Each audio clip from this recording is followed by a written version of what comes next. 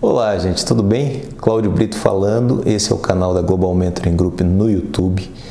E o vídeo de hoje vai ser um vídeo sobre sombras, que geralmente, normalmente, quando a gente fala do assunto, ele causa uma grande polêmica e também muitas reflexões a respeito de nós mesmos.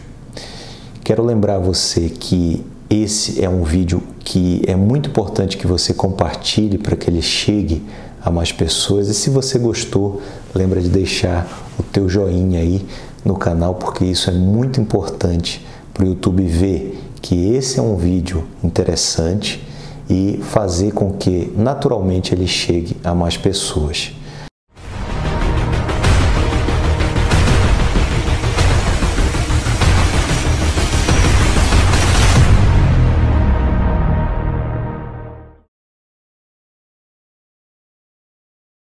Bom, eu uh, fiz uma formação em fevereiro de, 2019, fevereiro de 2019 da Global em Londres. E para essa formação eu convidei o Douglas Burté, que já não está mais entre nós. E o Douglas Burté me deu a honra né, de fazer a última formação presencial dele comigo lá em Londres. E naquela oportunidade, em dois dias, eu fiz a formação voltada para mentoria e o Douglas fez a formação mais dois dias voltado para liderança e foi realmente uma experiência muito impactante. A gente teve lá pessoas participando uh, na sua grande maioria do Brasil, né, e empresários, coaches, palestrantes, pessoas que estavam lá atrás de conhecimento. E naquela oportunidade eu aprendi muita coisa com o Douglas mas principalmente essa atividade que você vai fazer daqui a pouco. É, essa atividade é uma atividade importante e bem eficaz, assim, uma, uma atividade bem rápida que você vai fazer e que vai te trazer muita consciência, principalmente sobre o que realmente você tem feito, né? como é que você tem guiado, trabalhado com as tuas sombras. Então, momento agora de você parar um pouco e pensar. Se você tiver papel e caneta à mão, use. Se não, você pode usar o bloco de notas do computador, o teu celular para anotar. O mais importante é que você tome nota para refletir. Pense agora naquelas pessoas que mais te causam algum tipo de é, energia, né? Pessoas que é, características das pessoas que te trazem, por exemplo, alguma, alguma noção aí em que você quer um afastamento dessa pessoa. Vamos a um exemplo. Imagina aquela pessoa que você imagina sendo muito soberba, muito arrogante, né? Se aquilo te causa algum tipo de transtorno, você anota lá. Arrogância. É, aquelas pessoas que são é, extremamente mesquinhas, né, que é, trabalham e lutam por centavos às vezes, por coisas muito pequenas, às vezes nem é dinheiro envolvido, mas coisas muito pequenas, mínimas aí em relação ao que elas percebem, o que elas querem do mundo. Então, mesquinhez, você vai tomar nota das características que mais repugnam você nos outros. Tome nota, se for necessário, você pode pausar esse vídeo e fazer essa atividade com cuidado, com calma, de forma que você consiga enxergar exatamente aquele tipo de pessoa que te causa né, esse, essa repugnação, digamos assim, e principalmente as características. Tá? Eu vou dar um tempo aqui, mas se você já está preparado, pausa esse vídeo para daqui a pouco você voltar e eu trazer algumas outras oportunidades de reflexão. Vamos a elas? Então, agora eu estou imaginando que você já passou por essa atividade e principalmente que você pausou o vídeo, anotou, fez tudo que deveria para chegar até aqui. Se você fez isso, vamos começar a pensar exatamente no que você anotou. Geralmente essas características que você tomou nota são as tuas sombras, tá? São coisas que realmente mexem com você e que modificam a tua energia. Imagina que você chega no ambiente, encontra essas características, encontra pessoas representando essas características, algo muda em você. Aquele evento, aquela oportunidade, aquela reunião já não é mais a mesma, porque ali você encontrou uma sombra. Essa sombra está em você, porque senão você não reconheceria. Imagina, por exemplo, um bebê, né? ou uma criança muito pequena, melhor. Né? Normalmente, aquelas crianças são inocentes. Elas identificam, percebem oportunidades, percebem situações, mas elas não sabem nem dar nome e aquela situação, na maioria das vezes, não causa nem algo positivo nem algo negativo, simplesmente é algo que acontece. Ela não tem condição de avaliar exatamente se aquilo foi bom ou se foi ruim. Por que, que isso acontece? Porque a criança está neutra. Ela não sabe realmente avaliar aquilo porque aquela característica não existe dentro dela. Mais adiante, ela passa por uma situação, percebe aquela situação e ela começa a tomar noção do que é aquilo, né? e muitas vezes aquilo começa a refletir né? e causar aí sim um movimento de positividade ou de negatividade. Ah, eu encontro uma pessoa sorridente, aquilo me traz é, energias positivas, características, né? É, traz sentimentos positivos.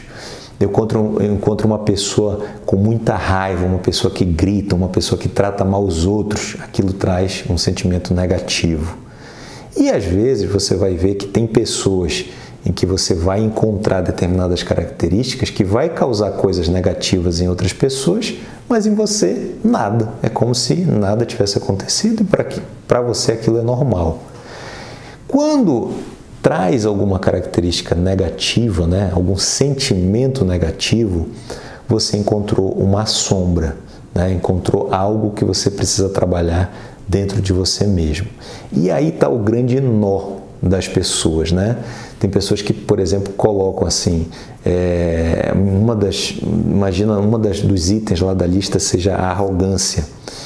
Bom, eu anotei arrogância, mas eu não sou arrogante, eu sou uma pessoa humilde, etc. Eu não estou dizendo, e nem a atividade está dizendo, que você é uma pessoa arrogante. O que a gente está dizendo é que a arrogância está em você. Se você representa ela no teu dia a dia, é outra história, tá? Lembra também que essa característica que você anotou, ela não diz respeito a mais ninguém. Ela não está falando de mim, ela não está falando da tua esposa, do teu marido, da tua namorada, namorado. Ela está falando de você. Então ela só diz respeito a você. E outro detalhe é que você não precisa divulgar para ninguém. Se você não falar, as pessoas não vão saber quais são as tuas sombras. Cláudio, por que, que é importante eu fazer essa atividade? Porque ela vai trazer consciência. O que, que é a consciência? É quando você vai se perceber praticando né, aquela característica ou, ou é, representando aquela característica e você vai notar, vai dizer assim, opa, eu pensei que eu não era arrogante, mas olha aqui a minha arrogância aparecendo, né? Eu pensei que eu não era mesquinho, mas olha aqui a minha característica aparecendo. Então, a sombra, ela é assim, ela está convivendo com a gente, ela está no nosso dia a dia. Vai da gente trazer consciência para aquilo e, se quiser mudar, mudar. Lembrando, gente, não é fácil, tá? Não é realmente uma, uma atividade que você vai fazer e no outro dia você já vai mudar, você já vai ser diferente. Não. Esse processo vai demorar meses, talvez anos de mudança. E quando você chegar a esse modelo, que você conseguir realmente refletir, trazer consciência, ainda tem a armadilha de você mais à frente representar isso novamente. Então, sombra é para você ter consciência e para você saber como lidar com isso, ou para você trabalhar isso. Se você está aqui, se você assistiu esse vídeo até o final, com certeza você está no time né, das pessoas que querem trabalhar isso que querem trazer não só consciência, mas querem fazer diferente. Então agora chegou o momento de você fazer, né? No teu dia a dia, quando você perceber que está com essa característica que você tão é, abomina nos outros, você tem a capacidade aí de mudar, de fazer diferente. Comigo é assim, às vezes eu passo por situações em que eu tô como se fosse um filme, né? Eu tô como espectador, mas na verdade eu sou o ator principal, né? Eu tô cometendo aquela aquele ponto que me abomina tanto e naquele momento eu não consigo mudar, mas algo foi diferente de outros momentos, que é a percepção. Eu me percebi cometendo o ato. E o que que muda? Tudo, né? Você tem passos para chegar até a mudança. O primeiro deles é a consciência. Se você tem consciência de algo que você quer mudar, você já deu o primeiro passo. Depois você vai dar passos para mudar isso. Então, por exemplo, lá atrás eu me percebi uma pessoa arrogante, uma pessoa que é, falava muito abertamente o que sabia e muitas vezes é, até diminuía os outros com o que falava. E depois de refletir um pouco, eu percebi que eu não queria mais essa característica comigo e eu comecei a praticar a humildade. Significa que eu já larguei a arrogância, que ela já não faz parte de mim? Não. Eu continuo me percebendo, continuo percebendo os outros e continuo praticando a humildade. Será que algum dia eu vou ser é, uma pessoa extremamente humilde? Não sei falar, mas é uma característica que eu busco não só em mim, mas também nas outras pessoas, nos outros parceiros de negócio. Por quê? A Global hoje é uma empresa que tem sede em três países, que já formou mais de 2 mil mentores. A gente está crescendo, a gente está traduzindo o nosso curso para o espanhol, para o inglês. Então a gente ainda tem muito chão pela frente. A gente tem apenas três anos de mercado. Então a gente vai crescer muito mais. A gente hoje é o maior grupo de mentores do mundo, sendo baseado, né, que grande parte desse, desse público aí de mentores está no Brasil. Mas a gente tem pessoas né, formadas por nós nos cinco continentes e a gente só vai crescer.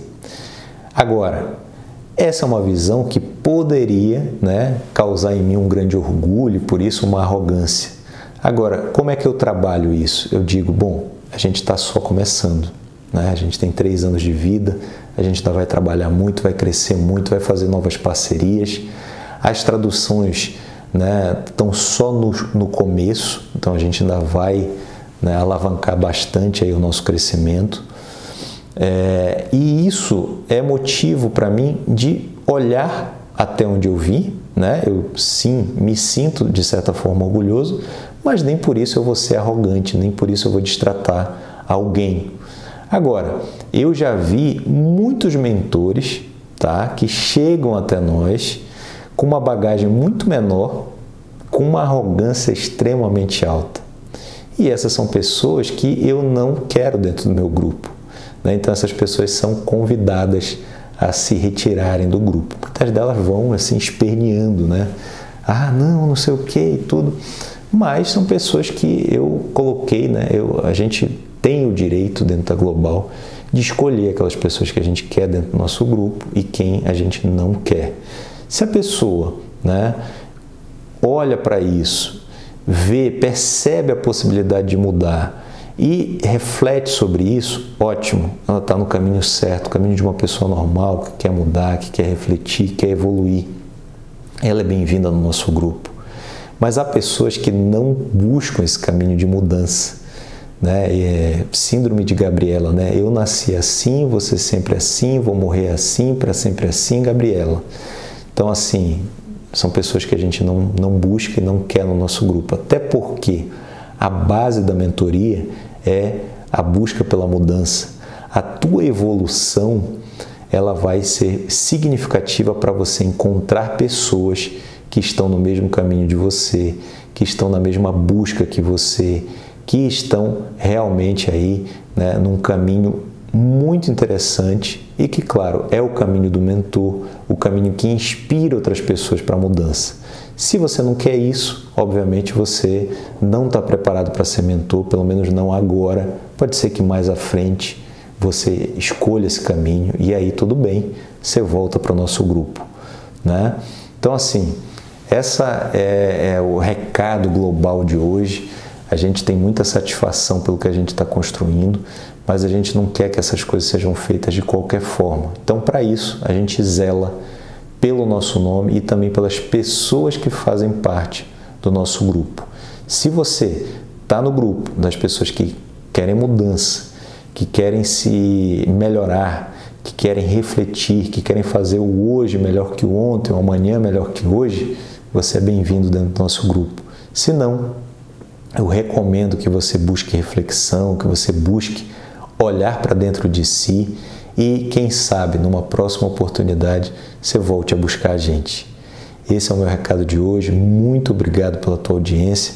Espero que em breve a gente volte a se falar no próximo vídeo. Lembrando, se você gostou, curte, compartilha, porque esse vídeo ele é um vídeo muito importante que as pessoas comecem a perceber. Traga mais pessoas para o nosso grupo, mais pessoas para a nossa jornada, porque é uma jornada significativa de mudança e a gente está num momento ímpar, um momento único aí para as pessoas buscarem isso. Muito obrigado, até a próxima.